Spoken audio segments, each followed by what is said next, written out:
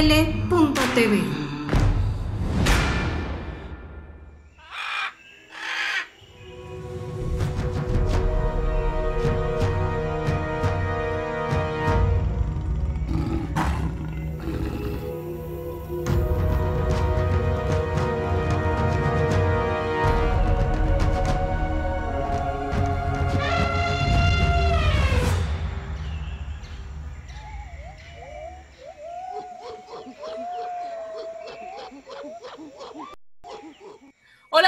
la hora animal, espero que se encuentren muy bien, eh, que se encuentren en casa o en el trabajo, que estén comiendo y bueno, pues que nos vean un lunes más. Y pues bueno, hoy vamos a, a seguir con la segunda parte del programa de zoológicos con nuestro invitado especial, que bueno, como ustedes sabrán, es nuestro padrino en Astel TV. Y pues bueno, es el médico veterinario zootecnista, Fer Domínguez. Hola Fer, ¿cómo estás? Hola, Sofía. Muy bien, muy bien. Muchas gracias por la, siguiente invitación. La verdad es que estoy muy contento otra vez de estar aquí con ustedes. Muchas gracias nosotros también. Pues tú eres uno de nuestros invitados que trabajas en zoológicos y que pues eres un maestrazo. Nosotros somos tus fan número uno, en lo particular yo, tú lo sabes y bueno, pues bienvenido nuevamente. Oye, Fer, pues nos quedamos hablando de lo del zoológico, que la gente también, eh, bueno, sepa todo lo que se está haciendo en el zoológico, que ha cambiado mucho de un zoológico de hace años a un zoológico de ahora, ¿no?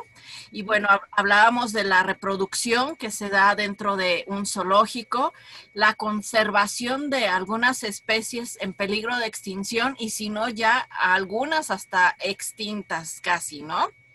También eh, la reintroducción que nos comentabas y bueno, la rehabilitación que yo te ponía el ejemplo de una águila que yo había visto, pero tú nos comentaste de otros ejemplos muy claros. Y pues bueno, eh, no sé si hay alguna otra actividad dentro de estos zoológicos.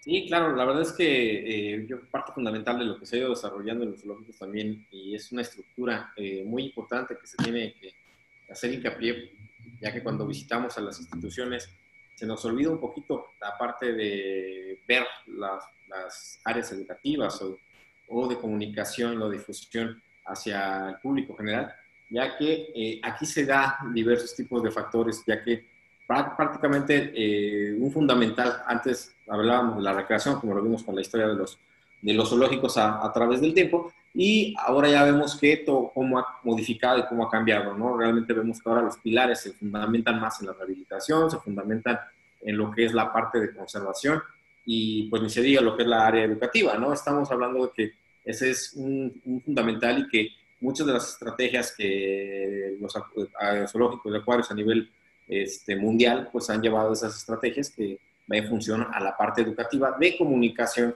de la conservación. Y hablando, pues, lo que decíamos, ¿no? Acerca de cómo ahora los gobiernos se tienen que alinear a lo que es la Agenda 2030, que es una de las agendas pues, muy importantes para revertir mucho de lo que se ha afectado, no, no nada más a, cuestiones de cambio climático, sino que también en cuestiones de, los objetivos en función al avance económico. Claro. Fíjate, Fer, que bueno, estos días, de, eh, a partir del día que hicimos la parte 1 de zoológicos, pues yo vi unas fotografías en la red que la verdad me impresionaron, ¿no? Ahora, bueno, entiendo un poco lo que algunas personas están en contra de los zoológicos, porque, bueno, no realmente, como tú bien me comentabas eh, alguna vez, pues no todos los zoológicos tienen bien a los animales. Pero este zoológico, Fer, es impresionante, te desgarra el corazón de verdad.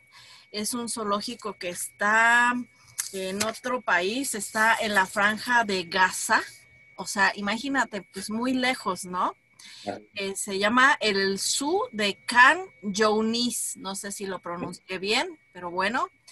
Em, aquí ves unas fotografías, Fer, de los animales, cómo se quedaron casi disecados, así, tal cual. No sé si tú las has visto. Sí, sí, sí, sí, sí, tenía ah, Ah, bueno, qué bueno que, los has visto porque me vas a entender. O sea, momificados en el 2009, ¿no? O sea, eh, los o sea, los burros están pintados así como las cebras, o sea, unas cosas muy raras ahí, ¿no? Digo, yo no soy quien para juzgar ni estoy juzgando porque bueno, es un país muy lejano, es otra ideología completamente.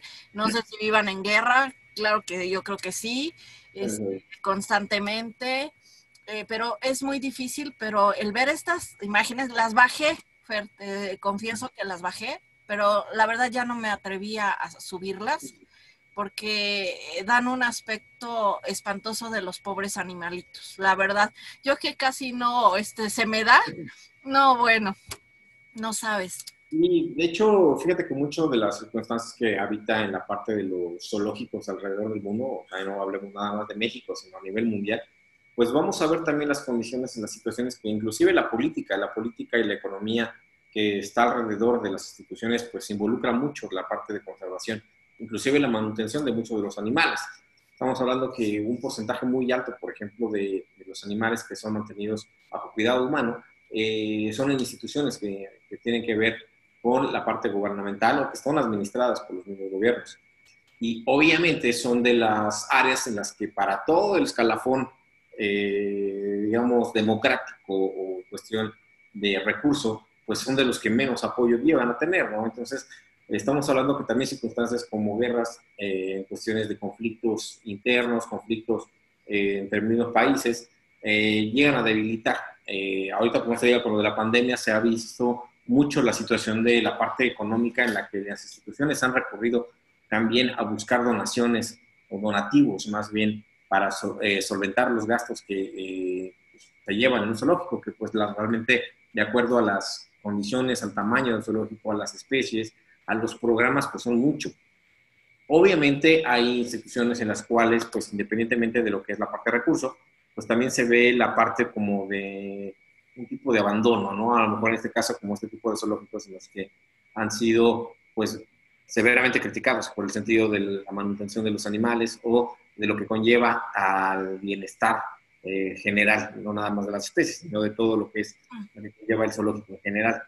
Eh, yo creo que es algo que se tiene que, trabajar tanto institucionalmente como gubernamentalmente. ¿no? Estamos hablando de que mucho del recurso que se ha retirado últimamente ha afectado a organizaciones eh, importantes en conservación, ¿no? Aquí en México, pues no se diga, ¿no? Entonces, yo creo que son las partes que tenemos que también trabajar como instituciones junto con el gobierno, junto con privados, con ONGs, para tratar de salvaguardar, pues, sobre todo las especies que están bajo nuestro cuidado. Claro. De hecho, bueno, cuando empezó la pandemia, después tres, cuatro meses, yo veía en la red que algunos zoológicos privados eh, pedían, por ejemplo, uno de ellos fue Bioparque, otro fue el que está en Pachuca, del Tu Safari, bueno, que compraran anticipadamente sus entradas para poder apoyar a estos zoológicos, ¿no? Y digo, pues sí es muy viable porque no me imagino cuántos millones cuesta un zoológico simplemente de mantener a estos chiquitos que tengo atrás en una fotografía. Imagínate, ¿no? Bueno, tú sí. Y eso es algo que que considerar, ¿no? Y realmente muchas veces cuando visitamos un zoológico no nos ponemos a pensar todo lo que involucra, ¿no? En costos, en manutención y sobre todo en, tanto en el desgaste humano, ¿no? Que también simboliza algo muy importante. Claro, pagar tantos, este, tantos, este, gastos que hay, no, no me imagino en cuánto saldrá, pero pues debe de ser impresionante, ¿no? Y bueno, eh, este zoológico, bueno, a mí la verdad en lo personal me impactó. Eh, yo creo que en otro, bueno, yo digo no sé, a ver tú qué me dices. Yo creo que aquí en México, como en algunos eh, países, sobre todo de, Sudamérica, no digamos de Europa, de Estados Unidos, pues están reyes los, los zoológicos, ¿no? Porque, por ejemplo, en Pakistán, yo te comento, en septiembre, el primero de septiembre yo tenía que estar en Pakistán. Y bueno, pues veme. Estoy aquí, sigo aquí y no puedo ir. Esperemos que el próximo año este, ya, ir. Esperemos. Entonces, bueno, yo tengo material este, pues ya hecho para ir a algunos zoológicos de Pakistán, ¿no? Pero la verdad, eh, en esta pandemia, en el zoológico de Islamabad, eh, dejaron o sacaron a una elefanta que porque estaba en malas condiciones. He oído algún caso por aquí semejante, pero bueno, nada que ver, ¿no? no sabes de qué hablo, ¿verdad? Exacto. Pero este, pero allá los gobiernos, como tú bien dices, son muy diferentes. Si la gente no está bien, pues desafortunadamente los animales menos, ¿no? Y en este caso, Pakistán es un país así. El gobierno como que no le toma mucha importancia a los zoológicos, a los animales, ¿no? Entonces, es otro tipo de, situación muy desagradable y muy desfavorable para ellos, ¿no? Así es. Eh, yo la verdad creo que aquí en México, como repito en otros zoológicos que ya comentamos el programa pasado, están bastante bien, digo. En todos pues hay problemas y demás, pero la verdad están reyes, ¿no? Digo, no, se me van a ir todos los este, animalistas encima y eso. Pero no, o sea, es con todo respeto y, con sentido del conocimiento, ¿no? Así es. De hecho, yo creo que se respeta todas las posiciones, ¿no? Al final del día, yo creo que eh, también como se les, denomina, ¿no? A las personas que protestan en, contra, sobre todo del, cierre de, zoológicos o, acuarios o, en sí. Eh, muchas veces tiene la historia incompleta o yo siempre digo que son historias mal contadas. Exactamente. ahorita estamos en una etapa de la, donde la tecnología pues ha ido constantemente evolucionando y donde una foto, donde un video en un momento no adecuado, este, puede llegar a tener una mal, un mal manejo en el sentido de, de la información que se está realizando, ¿no? Y lo hemos visto y tú lo has vivido con los diversos tipos de información que se, que se han tenido a lo largo no más del tiempo. Y algo bien común que, bueno, bien curioso de que comentas acerca de lo de ahorita, lo del COVID, que nos ha dejado pues, muchas enseñanzas, ¿no? Y tengo, tengo conocidos también en, en otros eh, puntos de, de, Sudamérica, en donde también les afectó y siendo instituciones europeas en Inglaterra, en Alemania, de alto recurso, y que al final del día la pandemia llegó a afectar de una manera importante que también se vieron en la necesidad de, llegar a la solicitud de, fondos, porque pues, son fondos propios. Y como bien lo sabemos, pues eh, la manutención, por eso es muy impactante cuando ves imágenes que a lo mejor, como tú dices, de zoológicos que han tenido esa desventaja, como en el caso de allá de, como en el caso de, de la, de, ¿cómo se llama?, de países, eh, sobre todo allá en, ¿cómo se llama?, países eh, no europeos, pero sobre todo en la parte de, de todas esas, situaciones, donde también hay muchos conflictos eh, internos, que obviamente eh, los más afectados son los animales, ¿no? Entonces, eso es algo que se tiene que tratar de, checar. Y yo creo que cada parte en, los países, por ejemplo, en lo que respecta a México, pues también involucrar ya esas políticas o esas instancias donde pues también el gobierno se involucre un poquito más en la conservación, que yo creo que es fundamental para que también los zoológicos, que a lo mejor los que trabajamos en, en zoológicos que están eh, en dependencias o que trabajan para, para, son de parte del gobierno, eh, tenemos ya un recurso, digamos, asegurado anual, que ya como sea tenemos una, una, partida donde aseguramos precisamente la alimentación de los animales, pero a lo mejor cuando no se, se tiene contemplado estas eh, situaciones que salen totalmente de, de una planeación anual, eh, ahí te habla también de, lo, tan frágil que puede ser el sistema ¿no? y, de cómo una pandemia, como el caso de la que estamos viviendo de COVID, eh, puede llegar y fraccionar. Inclusive he visto comentarios que han salido en donde dicen, bueno, pero ¿por qué los zoológicos están pidiendo dinero si no hay, este, si ya tienen un presupuesto?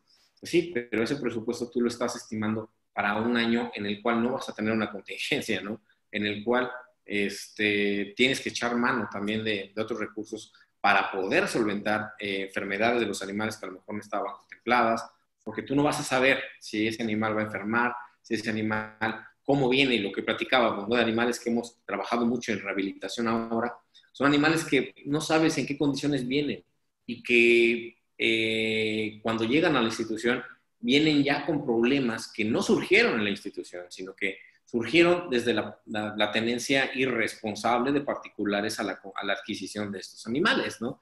Y esto que conlleva animales que vienen mal, animales con condiciones eh, cardiogénicas, por ejemplo, muchos felinos que vienen con problemas de cardiopatías y que cuando ya llegan a la institución, tú tienes el problema y a lo mejor no tienes ahorita la parte económica para poder solventar un estudio eh, eh, me pasó estar el año pasado, justo en estas fechas, estar en, el Amazonas, allá en, Iquitos, y, pues te das cuenta que la especie es increíble y que los rehabilitadores y las instituciones que rehabilitan, en particular allá rehabilitan mucho lo que es manatí y carnívoros y felinos pequeños, este, te das cuenta que se truenan los dedos como para poder hacer un diagnóstico de ultrasonido. Sabes que fuimos a hacer este, por allá trabajo, eh, donamos ciertos estudios para poder hacer una evaluaciones en perezosos, hacer evaluaciones de ecografía en, en algunos felinos menores. ¿Por qué? Porque no se contenía el recurso en ese momento, ¿no? Entonces, ahora imaginen, si estás trabajando con un recurso apretado y donde viene una pandemia, donde viene una situación que sale fuera del control presupuestal, pues te metes en aprietos muy serios, ¿no? Claro. Sí, pues sí, hay, siempre hay imprevistos, ¿no? Así es. Pues Entonces, parte de lo que tienen que hacer las instituciones de los zoológicos, por ejemplo, es eso, es buscar el recurso, porque muchas veces sal, salvaguardar la salud del animal, si, pues muchas veces de tu, inclusive de tu bolsa, si es necesario, ¿no? Porque pues, lo importante, por eso luego da mucho coraje y por eso este, lo que decíamos, ¿no? De que cuando empezamos a ver notas de mala, de mala fe, que siempre les digo, que dices, bueno, si realmente estuvieras aquí 24 por 24 eh, viendo al animal para que sobreviva, para ver y desgastar y dejar a tu familia y dejar a, muchos, a muchas personas por tratar de, sacar adelante la institución, te das cuenta que pues dices, bueno, pues de qué lado estás, ¿no? Entonces, eh, es válido, es válido, yo creo que no nada más en zoológicos, yo te he hablado también no nada más zoológicos, también tendríamos que echarle una mirada a la ganadería, una, una mirada a otras situaciones que, que a lo mejor eh, generan mucho más impacto a la parte tanto de bienestar como la, la cuestión este, de cambio climático y nos enfocamos a un pequeño, digamos, una pequeña arena de todo el montículo que involucra, ¿no? Entonces, pues, los que estamos trabajando por la conservación y porque estas instituciones logren avanzar, pues vamos hacia atrás, ¿no? Cuando tenemos esas malas publicidades y llámese también a aquellas instituciones que se suben, o instituciones o partidos que se suben a la, a la bandera política del, del marketing verde, que realmente es más marketing verde en lugar de apoyar, y eso es también contraproducente, ¿no? Eso lo vemos cada sexenio, lo vemos cada eh, cambio de, de, ¿cómo se llama?, de administraciones, y eso se convierte también en una parte negativa, ¿no?, para el avance de los zoológicos. Exactamente. Y bueno, tú recordarás ahí la cooperación para una leche para una jirafita. Exactamente, nuestra hija por todo un año. y pues son cosas que nos tenemos que, que, rifar, ¿no? Y es un caso muy exclusivo de los que lo vivimos, que pues era, nuestro, era nuestra hija cada mes, ¿no? Teníamos que pagar la leche, los pañales y todo, ¿no? Este, porque pues no, no estaba presupuestado que no fuera a ser creada, o sea, que no había, a tener una creencia. Entonces, pues ahí tenemos que echarle mano todos y pues, apoyar, ¿no? No, no podemos dejar al animal que, no nada más por la parte económica. Claro, no la van a dejar morir ni la van a dejar desamparada. Exacto. Son noches de, de, de, estarla cuidando y de cooperación cada semana para la leche. Y bueno, ah, es que nuestros amigos pues no se imaginan, ¿no? Pero pues también es bueno mencionar, ¿no? Oye, Fer, ¿Nos podrías platicar qué diferencias hay entre un zoológico, una reserva y un, parque? Ok, bueno, eh, son conceptos que inclusive no están bien conceptualizados. Por ejemplo, también eh, has escuchado acerca del famoso término de santuarios. Ah, sí. malamente, inclusive el término santuario pues, está fuera ni siquiera de la, de la instauración de santuarios en México, ¿no? Y ha sido mal, ¿cómo te puedo decir? Mal empleada la, palabra santuario, porque realmente un santuario involucra no solo animales, ¿no? Involucra ecosistemas, te involucra sistemas no nada más de fauna, sino también de flora, que están bajo protección para un cuidado eh, sinérgico de, todo el ambiente. Entonces, muchas veces hablamos de santuario de carnívoros, por ejemplo, que son muy conocidos, muy famosos, que buscan donaciones, pero que a la larga no son santuarios. O sea, son instituciones que, que, por ejemplo, dicen, no, pues santuario de felinos uranito de tal, pide donaciones, eh, es un hit en redes, es un hit en, en, todo esto, pero está totalmente fuera de un concepto de un santuario, ¿no? Eh, Oye, perdón que te interrumpa, eso también se vio mucho cuando sacaron a los animales de los, de los circos, ¿no? Que el santuario de los leones. Así es. ¿no? Eso como que eh, fue muy novedoso para nosotros, ¿no? De alguna forma. Así es. De hecho, eso fue algo parte que, que aprovecharon inclusive instituciones como animalistas en las cuales eh, comentaban que los santuarios eh, eran estas áreas de protección a los animales y que los animales iban a estar en, libertad y, se vendió, digamos, una falsa idea de lo que es un santuario, que a la fecha que puedo decir, ¿eh? todavía muchas instituciones que he visto, sobre todo protectoras, manejan el término santuario como una situación eh, por ejemplo, santuario de Quino, o sea, para comenzar, si ves tú la definición de santuario, nada que ver con lo que, eh, pues realmente lo, llegamos nosotros a, ver, ¿no? Y pues obviamente estas instituciones, cuando fue el boom de, de los circos, que fue también otro de los graves errores, que se tuvo una mala planeación, este, todos esos animales con eh, la bandera de, pues van a ir a un santuario no fue así, ¿no? Entonces, eh, todos esos términos, muchos particulares aprovecharon y realizaron eh, colectas de estos animales que obviamente eh, las instituciones también los depositaban ahí. Y como consecuencia, pues se formaron no en santuarios, sino nada más que en colecciones particulares que inclusive se, me ha tocado ver esas mismas instituciones que venden los cachorros. Fíjate. Entonces, y lo estamos viendo. ¿De dónde, de dónde están saliendo los cachorros que pasean por Polanco? ¿De dónde están saliendo los cachorros abandonados en las carreteras o decomisados? Están saliendo de esos mismos santuarios. Eso me recuerda a una película que hubo, ¿no? No sé si tú la viste de unos leones. Ajá. Hay un como santuario y que el dueño los empieza a vender y que la niña se encariña mucho con el, con el blanco. Exactamente. Es lo mismo, ¿no? Está pasando. Es lo mismo pasando? Entonces, el concepto se está pues, tragiversando en todo sentido, porque al final del día eh, se convierte en una situación en la que sale de control de, de los mismos pues, propietarios, porque al final del día, en lugar de, es lo que yo decía, pues bueno, ¿por qué si eres un santuario donde estás recuperando animales de, ¿cómo se llama?, de aseguramientos, de otras instituciones, estás reproduciendo? Entonces ya no coincide la, ¿cómo se llama? Este, este, estas situaciones. Hay algunas fundaciones que inclusive pueden eh, tener esa, función de, rehabilitación. Hay una en, Hidalgo que, es buena, en el cual eh, rehabilitan algunos animales, los mandan a otras instituciones en los Estados Unidos, donde igual son eh, colecciones amplias, donde tienen también espacios mucho más grandes para poder albergar a estos animales y esto, pues obviamente nos va a dar como resultado una mejor, este, un mejor eh, fin, digamos, de los animales, ¿no? Entonces yo creo que el concepto de santuario aquí ha sido demasiado mal utilizado. Y, y, pues yo creo que ha sido la bandera de muchas de las instituciones protectoras por la razón de la que involucra. Y tengo, yo he estado en muchos comités, sobre todo en gobierno de, de, bienestar, y es, híjole, a mí se me torce el estómago cuando empiezan a hablar de santuarios, ¿no? Este, Aquí en México lo único que habíamos conocido de santuario era el santuario de las mariposas monarcas, ¿no? Ese es un santuario. Estás hablando de una conservación de el ecosistema original del animal a través de una de un resguardo y de una este, protección bajo cuidado gubernamental de un espacio determinado para poder mantener el equilibrio ecológico de esa especie. El santuario de la mariposa monarca es un claro ejemplo, ¿no?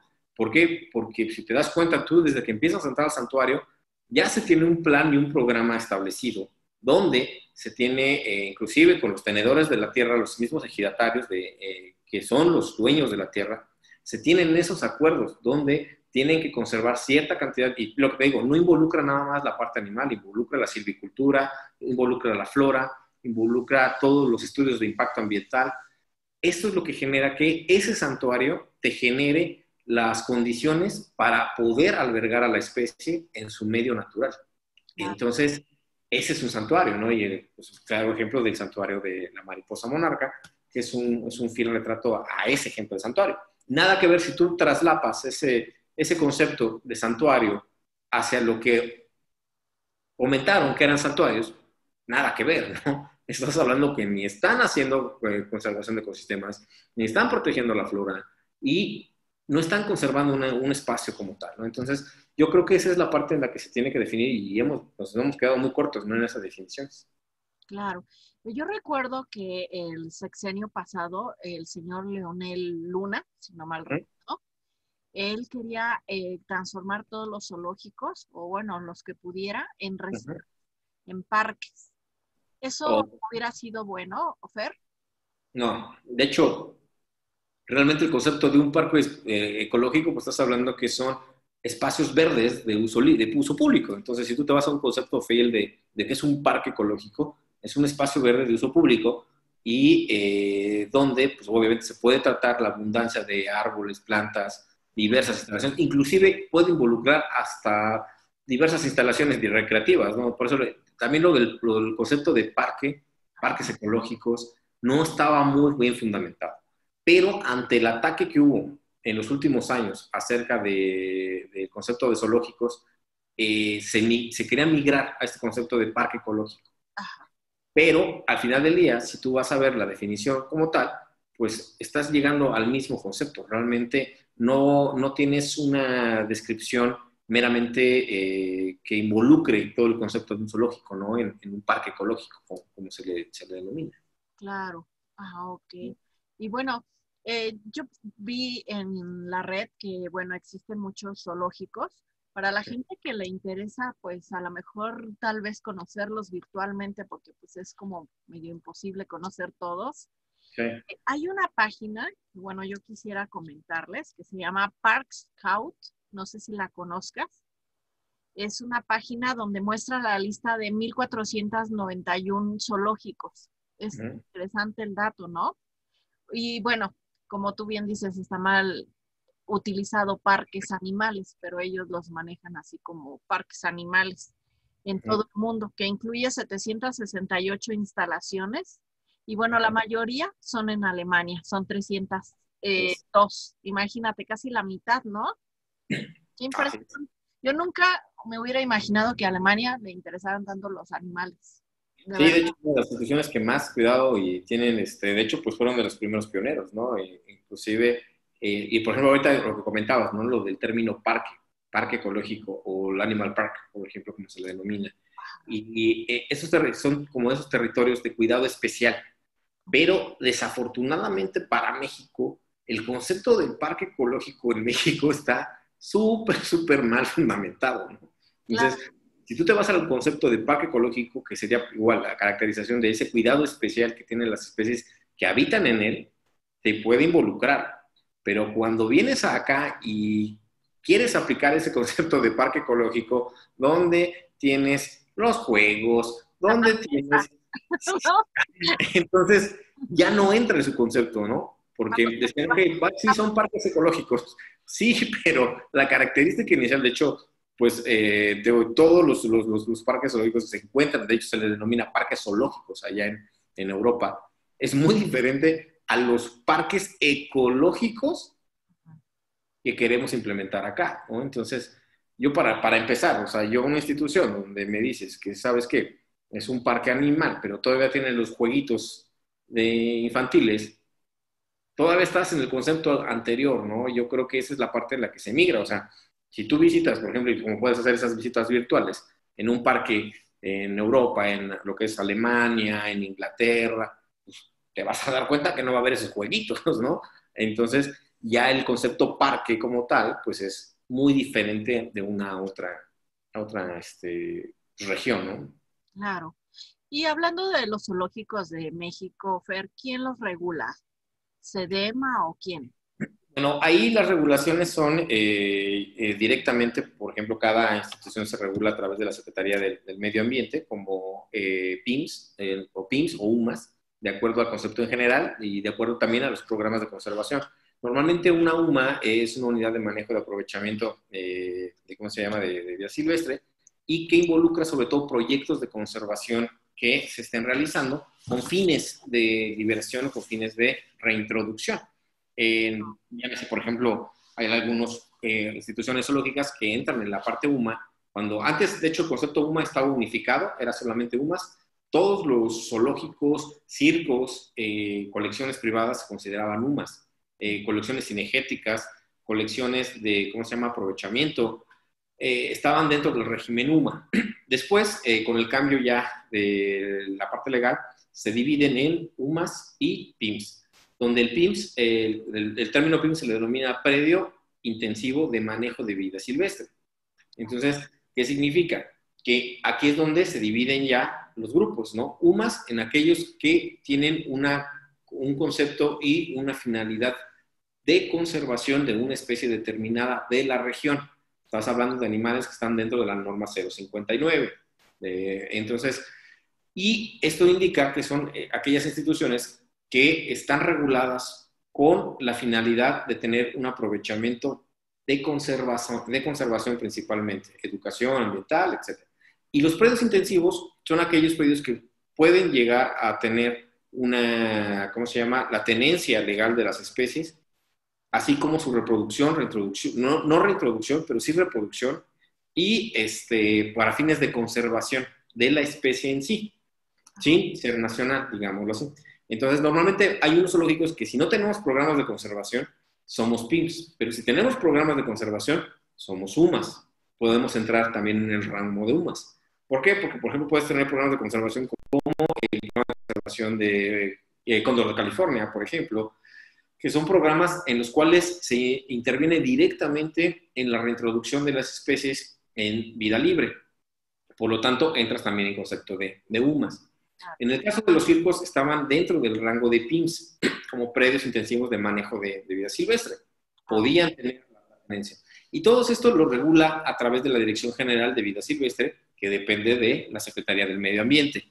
Obviamente eh, de forma federal y de ahí ya se va desglosando a cada uno de los estados la administración, ya sean que pertenezcan al estado o a la eh, coordinación de las instituciones privadas con la misma institución gubernamental de la, de la zona, ¿no? de la delegación en, en particular que puede llevar. Todas las instituciones tenemos un plan de manejo que se le denomina, un plan de manejo, un plan institucional, un plan de colección que se tiene que entregar a la Secretaría anualmente para dar tu informe de las eh, bajas, de los nacimientos, de todo lo que involucra el concepto del zoológico para favorecer eh, los, los, objetivos, que es la parte de la conservación y la, reproducción. Claro, ah, muy bien. Oye, Fer, fíjate que, bueno, antes de la pandemia, hay una persona que eh, una vez que fui a Veracruz, él veía la hora animal y bueno, eh, casualmente esa vez me llamó y yo estaba en Veracruz. Entonces, bueno, tuve el gusto de conocer a esta persona y él eh, quería abrir, bueno, yo creo que todavía tiene ese deseo de abrir un zoológico y tiene 300 o algo así, 300 animales, pero bueno, al final no le alcanzó el dinero para abrir el zoológico y bueno, ahora con la pandemia pues yo creo que está un poco más difícil porque le faltaban como 8 millones de pesos, ¿no? Por eso digo que no nos imaginamos lo que cuesta mantener un zoológico, ¿verdad? Pero bueno. Entonces, por ejemplo, esta persona, ¿qué pudiera hacer en este caso? De hecho, él es acercarse igual a las, a las instituciones, a las instituciones eh, que estén a su alcance, por ejemplo, en el caso de la Semarnat, para precisamente asesorarse. La, verdad es que muchas veces cuando se puede realizar una tenencia particular, o sea, hay muchas este, colecciones particulares donde eh, inclusive la normatividad está hasta en línea, ¿no? Puedes tú descargar cuáles son las, las características que tiene cada uno de estos eh, rubros y en finalidad a lo que tú quieras este, realizar. Entonces, que también luego llega a estar un poquito ambiguo porque ahí es donde entran también la parte de eh, comercializadores, ¿no? Eh, que pudiera haber mucho problema en eso. ¿Por qué? Porque pues también, como es muy, no es fácil, pero sí puede ser muy eh, factible el, poder realizar un trámite de, alta. obviamente depende de mucho de la Secretaría y de la, de, de la de las instituciones, de regularlo, ¿no? De que realmente sea una institución con fines de conservación, con fines de eh, no nada más de diversión, ni de muestra que es lo que estamos ya tratando de migrar, porque precisamente por eso los animalistas nos pegan. ¿Por qué razón? Porque todavía si queremos que nuestro concepto es que tener animales es para divertir a la gente, entonces estamos mal. Entonces tenemos que tener ese concepto en el cual realmente la parte de animales bajo cuidado humano eh, sean con una ética, una bioética, en el cual, el cual va a ser el objetivo principal, ¿no? De dar de alta este tipo de, de situaciones y obviamente la semana es la que se encarga de eh, poder regularlo. Claro. Oye, y por ejemplo aquí en México, ¿cuáles son los zoológicos más grandes que tenemos en todo México? Híjole, pues yo creo que de los que se tienen en México hay muchas instituciones, también va a depender, por ejemplo, no nada más de tamaño, sino de colección. Entonces, obviamente tenemos los zoológicos de la Ciudad de México, que son de los que eh, obviamente tienen una de las colecciones más importantes a nivel no nada más nacional, ¿no? sino a nivel, a nivel eh, América, este, y eh, con la infraestructura que se tiene para lo que es el, el, lugar en donde están situados. No estamos hablando que pues, estamos en medio de, lo que es el gran monstruo de la Ciudad de México, y eso pues conlleva que este, sea eh, una institución que pues tenga muchas diversidad y problemas pues socioculturales, ¿no? En el caso también de Guadalajara, eh, en, Monterrey hay una también cantidad de, zoológicos con un concepto muy diferente, más concepto tipo safari, a que a conceptos eh, cerrados.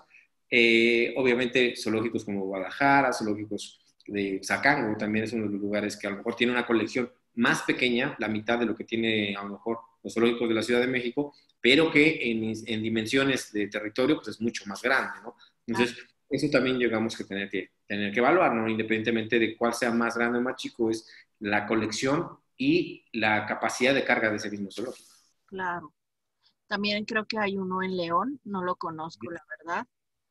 sí, también son los zoológicos que, se encuentran en, provincia. Este, hay, obviamente, African Safari en Puebla, también es otro de los zoológicos de mayor tamaño. Eh, eh, Safari. también. hay uno, ¿verdad? ¿Tú lo conoces? Yo ese no uno en Mérida. Ah, este sí, conozco, de hecho hay dos allá. Ahí este, está el Centenario, que es uno de los primeros que estaban ahí en el centro de, Mérida, y hay otro muy bonito que me tocó conocerlo, que está eh, casi a las afueras, déjame ver si ahorita me acuerdo cómo se llama, este, que tuve también la oportunidad de visitarlo hace unos tres años, este, que son los dos zoológicos que yo ubico allá en, Mérida. Eh, está Yunca también, que está en Tabasco, eh, Sumat, que está en Chiapas, que son otro tipo de conceptos muy diferentes. Por ejemplo, SUMAT tiene más el estilo de un parque ecológico como tal, ¿no? Ah. Del concepto como de reserva ecológica. Es lo que te decía de realmente los conceptos de, de no, no a todos se les puede decir parques, ¿no? Entonces, eh, hay algunos que sí están con las condiciones como de un parque ecológico o reserva ecológica. y las condiciones del ambiente, ¿no? Claro, sí, como tú bien dices, a veces nacen estas colecciones o estos zoológicos por diversos motivos, ¿no? No nada más porque quieran tener una colección. Yo recuerdo que cuando hicieron la presa de Chicoacén, bueno, la hizo mi primo. Entonces me platicaba y en ese entonces pues no me imaginé que iba a estar aquí, ¿verdad? Pero me llamó mucho la atención. Yo como que se me paraban las antenitas siempre que hablaban de animales, ¿verdad? Entonces, este, un día que estábamos comiendo me platicó que habían sacado tantos, este, lagartos, tantos monos, y que con todos esos animales, bueno, otras especies, habían hecho ahí este, un pequeño zoológico. Me llamó mucho la atención eso, ¿no? Sí, fíjate que muchos de los, inclusive de algunas colecciones que han sido, pues, digamos que iniciaron como centros de rehabilitación, llega un punto en el que es tanto el amor que tienes a los animales y a la rehabilitación que comienzas a crecer y cuando ya te diste cuenta, este, ya tienes una colección pues, bastante importante que obviamente te está generando un gasto, pero que tú tampoco no la vas a dejar. Entonces ahí es donde empiezas a buscar fundaciones, empiezas a buscar apoyos extranjeros, empiezas a, a, formarte para tratar de, de, ¿cómo se llama?, sufragar. Y así es como vas creciendo. Muchas veces van creciendo instituciones en las cuales pues, jamás se imaginaron llegar a tener este, ya las dimensiones, ¿no? Y ya proyectos de conservación. Eh, entonces yo creo que eh, bueno, tuvimos la oportunidad de visitar Coatepegarinas, ¿no? con el programa de conservación. Y así inició, inició con el interés de un particular que tenía en los terrenos que dijo, yo quiero hacer algo por la naturaleza. Comenzaron a trabajar con venado la blanca, comenzaron a trabajar con venado la blanca mexicano para recuperación de especie. Y ahorita es de los principales centros de conservación del lobo gris mexicano, ¿no? Entonces, te, está hablando que, ¿dónde surgió eh, eso? Pues fue el amor de una doctora en la cual la doctora Ana Dolores, que la quiero mucho y que la verdad, ver cómo ella se desboca por los animales y cómo desde que empezó el proyecto hasta la fecha sigue con la misma intensidad y más intensidad de conservación. Y eso ha hecho que varias instituciones se sumen y que también ahora a nivel internacional sea una de las principales este, pues, banderas del lobo gris mexicano, ¿no? A nivel eh, nacional y, e internacional, ¿no? Exacto. Oye, Fer, ¿y tú que estás del otro lado del zoológico? ¿Qué recomendaciones nos puedes hacer a nosotros que vamos a visitar un zoológico? Pues yo creo que eh, sobre todo nos informemos bien de lo que estamos viendo. Eh, ver a las especies que se tienen, ver los programas de conservación. Eh, yo hay veces que me da mucho coraje que cuando la gente llega a los, a los zoológicos a ver especies, por ejemplo, lobo gris mexicano, un ejemplo, ¿no? Que se tiene también en algunas colecciones bajo cuidado humano, y la gente ve y diga, ah, mira, son perros. Y dices, bueno, ni leer ¿no? la, la ficha, ni leer el cartelón que diga el, estado de conservación, que estás viendo a uno de los 400 y fracción animales que hay a nivel mundial, la importancia ecológica. Yo creo que esa es la parte que más frustra a uno cuando trabaja en, eh, zoológicos. Yo creo que esa es la parte en la que tú dices, oye, es que es cultura, ¿no? Es, ya es, es educación. Y que todavía el concepto de la gente no migre eh, la parte que llevan a los niños, llevas a tus hijos a que vean animales que a lo mejor no van a poder volver a ver en, ¿cómo se llama? Media libre. ¿Por qué? Porque estamos acabando nosotros, ¿no? Y que el llegar a una institución y todavía no, no, no captemos el impacto que estamos generándole nosotros a, la, ecología, a la parte este, de conservación, a la parte de, animales. Eh, eso conlleva, yo creo que yo creo que lo que sí muchas veces yo trato de ver, y si tengo la oportunidad, tú me has visto cuando he trabajado, de que si tengo la oportunidad de acercarme a una persona y explicarle lo que está viendo, lo hago. ¿Por qué? Porque a lo mejor ese pequeños 5 o 10 minutos que a lo mejor me tardo explicándole a una familia o explicándole a un niño de lo que está viendo y de un dato importante, de eso que este niño se lo lleve a su amigo, a su hermano, a su papá inclusive, ¿eh? genial. O sea, yo lo que he hecho mucho cuando he estado dirigiendo instituciones es dirigirme más a los niños. Entienden más los niños que los papás. Claro. Entonces muchas veces los niños son los que regañan al papá y dicen, no, papá, pues es que esto no es así, no te, dije, hace ratito nos dijeron que no era así y es por esto y, y, te das cuenta que dices, bueno, yo creo que ya llegué a, a, un objetivo que era el niño, ¿no?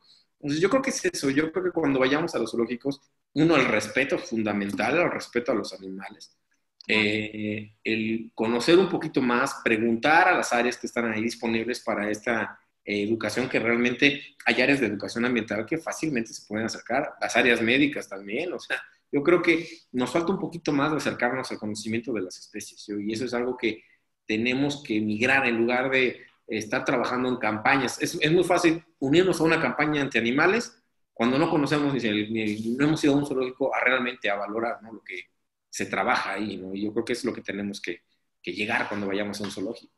Exacto. Y tienes toda la razón, porque pues el zoológico se disfruta, se ve los animales, pero se aprende, se va a aprender, ¿no? Yo, bueno, yo recuerdo cuando era chica, mi papá salíamos y me decía, a ver, ¿qué viste? ¿Y cómo era? Y esto, y lo otro, ¿no? Entonces tenía que estar, pero abusada, no nada más disfrutándolo, sino también viendo. Y para eso son los letreros, como tú muy bien dices, ¿no? Información es como si vas a un museo y no lees. Así es. ¿Qué pasa? ¿Y ese cuadro de quién era? Ah, pues quién sabe. ¿Y qué obra era? Pues quién sabe. No, y, y, es curioso porque luego ves instalaciones y dices, ay, es que ¿por qué están las instalaciones así? ¿O por qué tienen los barandales? ¿Y por qué? Porque no es para que la gente, no es para decir que yo siempre lo digo, no es para que la gente se defienda de los animales, es para nosotros defender a los animales de la gente. Entonces, te encuentras con cada situación que no es posible, ¿no? No, no, puede, no podemos... Es, de afuera para adentro, no de adentro para afuera, ¿no? No, pues que no es para que nos proteja de ustedes, estamos protegiendo a ellos de ustedes, porque no hay ese, todavía esa educación como tal. Exactamente. Y toda la gente que también les da de comer, o sea, es un grave problema. Ellos lo hacen a lo mejor con la mejor intención, pero no sabemos realmente esos animales qué es lo que comen y lo que le estamos dando les haga daño, ¿no? Yo te puedo decir, hemos sacado en cirugías de hipopótamos, pelotas. Ay, no, bueno, eso ya es... eso ya es maldad, ¿no? monitos, crías, con paletas atoradas en el esófago porque le dieron la paleta al... Entonces, cuando es lo que te veo es frustrante porque dices, ¿sabes qué? Están llegando animales que me están afectando, que la misma gente no tiene esa educación. Entonces, obviamente, y luego imagínate, te toman la foto donde el animal tiene una pela y dicen, ¿quién tiene la culpa, no? El zoológico. Entonces, llega a ser una situación odio-amor muy, muy complicada. Entonces, yo creo que ahorita lo que estamos enfrentándonos y nos vamos a enfrentar en los siguientes años va a ser eso, esa lucha constante y creciente de grupos en los cuales el concepto general han llegado a detrimentar también la parte de lo zoológico. Claro, qué tristeza, porque por unos pagamos otros, la verdad. Así es. ¿No? Entonces hay que tener respeto, educación hacia los animales. Así es, y, más porque muchos de los proyectos que estamos trabajando es eh, trabajar en proyectos de conservación. Entonces, mucho de la situación que hacemos ahora es trabajar en especies que son de alto eh, interés nacional en el sentido de conservación, que pueda hacer la introducción, ¿no? Obviamente también como lugares de un reservorio genético, de bancos genéticos, que eso nos va a permitir en algunos años poder seguir trabajando en conservación ya con las nuevas tecnologías que han salido relacionadas, desde clonaciones hasta biotecnología, células madre.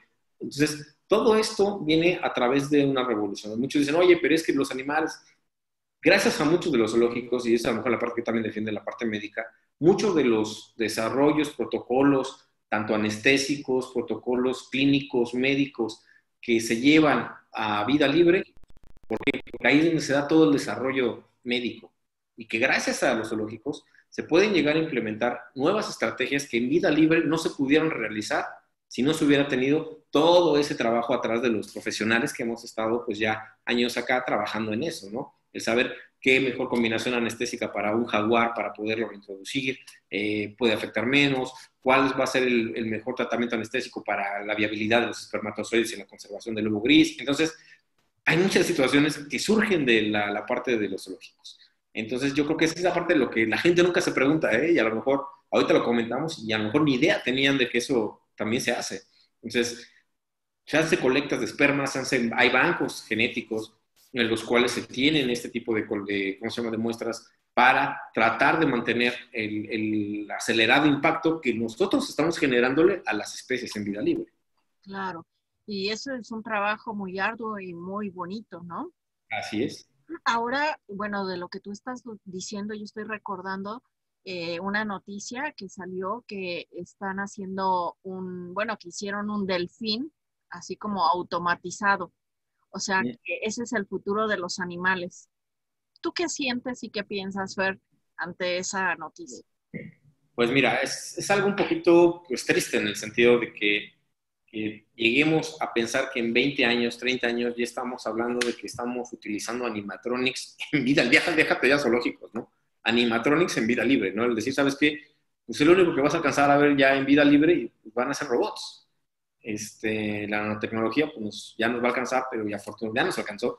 Pero este, el tratar de trabajar en sentido donde la tecnología va, en lugar de trabajar a favor de la conservación, se esté pensando en trabajar en la sustitución de la conservación, pues sí es un poquito triste, ¿no? Porque obviamente todos los que eh, vivimos en esto, pues día a día, como decía, ¿no? uno de nuestros anteriores presidentes, ¿no? No me levanto todas las mañanas para ver cómo frigo al país, ¿no? O sea, al final del día no nos levantamos todos los días para ver, ah, pues qué vamos a jugar, ¿no? O sea, creo que todos los días nos levantamos con la finalidad de, de ¿cómo se llama? De poner un granito, ¿no? Más, más en la conservación en que a lo mejor ese tigre que se recuperó, que se rehabilitó, que estaba en malas condiciones, eh, empiece a jugar, ¿no? Eh, o ese animal que estaba muy sometido te comienza a tener más confianza y comience a, tomar una, a subir de peso.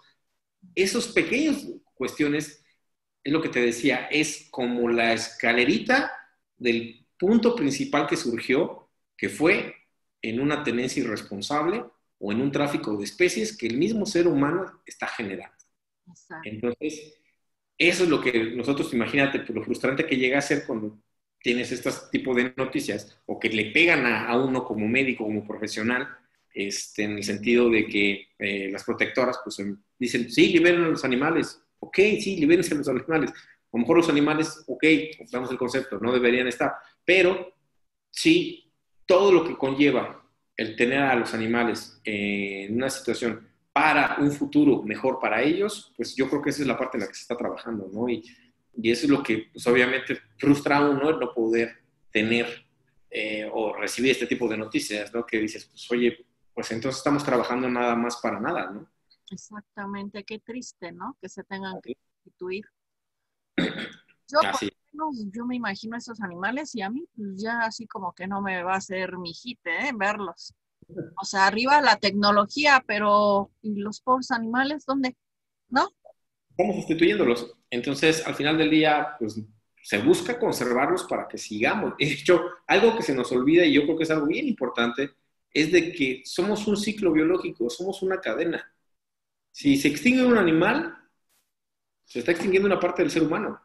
Y eso es lo que creo que no nos entra en el concepto y seguimos todavía con la egolatría y el egocentrismo, ¿no? En el decir que el, el humano está en la punta del iceberg. Y no es cierto, estamos en la parte más baja del iceberg. ¿Qué significa? Que con cada especie que vaya desapareciendo, el ser humano se está extinguiendo. Entonces, eso es algo fundamental. Y eso es lo que conservacionistas de todo el mundo, eh, profesionales, expertos en las materias, trata como uno de trabajar en el sentido de decir, oye, pues por cada especie que se está extinguiendo, un hijo menos que va a sobrevivir. Entonces, lo estamos viendo, o sea, lo estamos viendo con el COVID, lo estamos viendo con los huracanes, es muy cierto, o sea, al final del día es lo que yo siempre digo, cuando la Tierra se canse, simplemente se va a sacudir y se va a quitar las pulgas. Exacto. Como nosotros. Entonces, es, es, a lo mejor un pensamiento muy, muy, ¿cómo te diré? Muy este, fuerte, pero lo vemos, o sea, vemos que hay temblores, vemos que hay huracanes y que a la larga, mientras el ser humano siga impactando de una forma dramática el medio ambiente, vamos a ir acrecentando las enfermedades, vamos a ir acrecentando los cambios climáticos y obviamente los desastres naturales. Exacto. Se va a dar. Es, Ya lo hemos visto en extinciones anteriores. Es el mismo caminito, ¿no? Entonces, la vida se va a dar, lo vimos ahorita con el COVID. La gente al momento de que la metieron a aislarse, la vida surgió. Exacto. Es triste, y es triste que una enfermedad nos lo enseñe y es más triste que no nos caiga la cabeza. Así es. Pues, pues. Ay, Fer, pues estuvo muy buena esta charla, la verdad te lo agradezco mucho, pero bueno, desafortunadamente el tiempo se nos acaba. Yo ya no te dejé hablar, yo siempre te estoy pregunta y pregunta. Pero muchísimas gracias por estar con nosotros. Te esperamos próximamente con todo el gusto. Y no sé si quieras agregar algo. No, creo que sí. Yo creo que este, parte fundamental de lo que tenemos que, tomar en conciencia, eh, independientemente con zoológicos, con parques, con diversas instituciones, es tomar también la parte, digamos, personal. ¿Qué estoy yo apoyando para poder trabajar en el sentido de conservar una especie? No es nada más ponerme un cartel y ponerme afuera de reforma a protestar, no es ponerme un cartel afuera de las instituciones, no es nada más vestirme de mono y ponerme ahí a decir, es realmente yo, yo, yo, yo, ¿qué estoy haciendo como persona? realmente hasta en mi consumo de, ¿cómo se llama?, alimenticio, o sea, todos podemos hacer algo en la casa y, la verdad yo creo que estamos dejando de hacerlo, ¿no? Y yo creo que, yo creo que es algo que yo pienso que antes de poder cuestionar, de criticar una institución que está trabajando, es también ponerme yo en esos pies y saber qué estoy haciendo yo, ¿no? Para apoyar. Así es, Fer. Pues muchísimas gracias, Fer. Cuídate mucho. Nos vemos en la próxima. Muchas gracias, amigos de La Hora Animal. Recuerden nuestras redes sociales, La Hora Animal en Facebook, Instagram y bueno, en YouTube. Y bueno, recuerden todos los lunes a las 2 de la tarde. Hasta la próxima. Bye. Astele.tv